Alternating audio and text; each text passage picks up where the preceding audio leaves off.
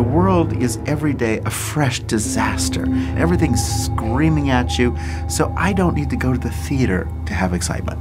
I would like to go to the theater to calm down.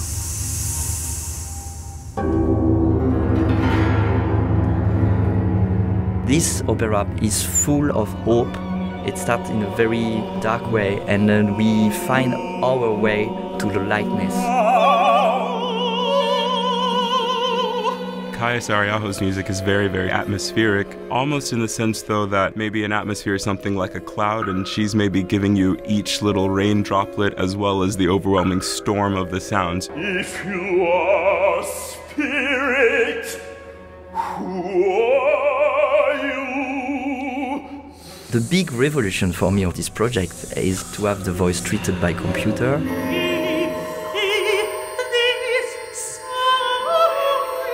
When you are a phantom or an angel, you try to have a voice sounding like heaven, and here the electronic is helping me to find these new colors in my voice.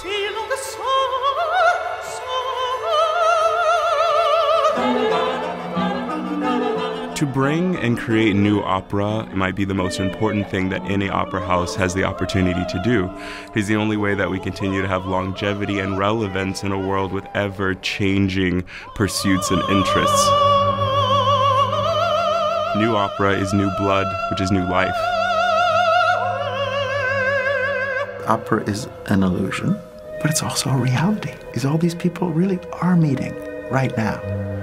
And at this moment of segregation, of I'm not like you and you're not like me, it's for the artist to say, Excuse me, we're having a conversation across the planet, across the centuries, and across the span of human imagination. So please come.